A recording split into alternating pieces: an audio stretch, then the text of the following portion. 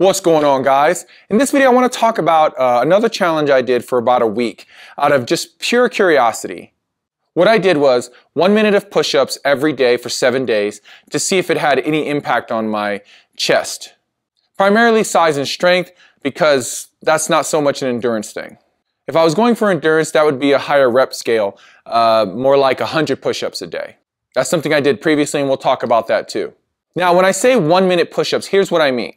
What I did was I did a maximum of 10 push-ups at a very slow tempo, about five or six seconds per push-up. This hits just about a minute in tempo work. So that's what I mean when I say I did one minute push-ups. So like I said, I previously did 100 push-ups a day, um, and I had a friend, another friend who did 100 push-ups for a year. And I'll put a card up to the video that I did explaining why doing 100 push-ups a day, guys, will not give you anything with regard to uh, size or strength. Now, let me, let me pull that back. Let me walk that back a little bit. It's not that it won't give you anything, but once you go past a certain point, it's diminishing returns.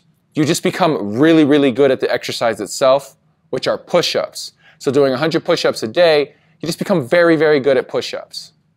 You can only get so big. You can only get so strong doing push-ups.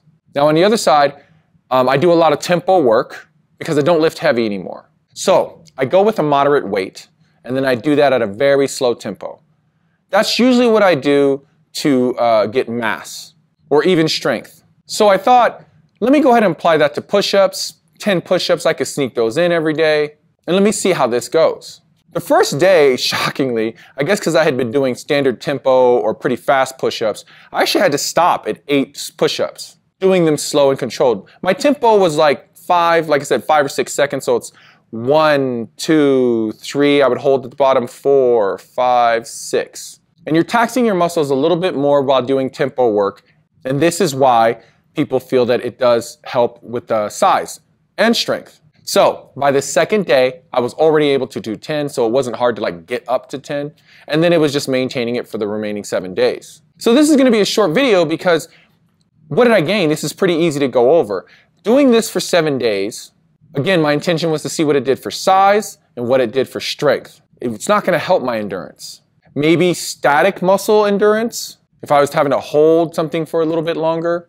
But ultimately, I kind of just pulled that out of the equation. So as far as strength goes, I got stronger. Now, I will admit, during the seven days, I did hit a chest workout one time, and that was benching and some dumbbells. So I usually hit chest at least twice a week. While during this challenge, I only did it once. So there was that that will add to the results, which if you work out, I'm pretty sure you're gonna hit chest at least once a week. For strength, um, I did feel stronger. I don't lift heavy, guys. I've said that before. If I go to a certain weight, a moderate weight, I either do tempo work or I do high volume, lots of reps. My days of lifting heavy, those are gone. And I'm okay with that. I actually prefer lifting this way. So I did see some improvements in strength. Not huge, but a little bit. It did, as an accessory, doing these push-ups on the side, it, just, it did help at least stabilize my strength, but I feel it pushed it a little bit when I did my one chest day. I did feel a little bit extra. I got stuck on the bench a couple times and I was able to push those reps out. But no massive leaps in strength. For size, this is where I saw the most. Now, I said this in the 100 push-up video, you can only go so far. When I started this at the beginning, I measured my chest and it was 42 inches. At the end of the seven days, I gained one inch on my chest, it was 43 inches. Out of curiosity, I had other videos and stuff, so I didn't make this video right away. So I had continued this uh, push-up challenge on through the following week, but I was inconsistent. I think the following week I maybe did five days instead of another full seven. That said, I did mm. gain another half inch. The week after that, which is this week, I'm a few days in and I'm in a different push-up, I'm doing different push-up variations right now. And I'm actually doing higher reps though, so I am doing 30 reps. And between that second week and this current, and the half of this third week, I've only gained a half an inch on my chest. So I'm now at 43 and a half inches on my chest. And I think it's gonna top out at that. With only doing push-ups, again, you're only gonna get so big to gain any more size from there, you would definitely need progressive overload. I think that is mainly because it was a new type of stimulus. Again, tempo work, doing a strength exercise for an entire minute, Just, it was just a different stimulus from what I was doing before, so your body reacts to that. Positively, of course, but it eventually catches up and gets used to what you're doing. And then you have to change the stimulus again.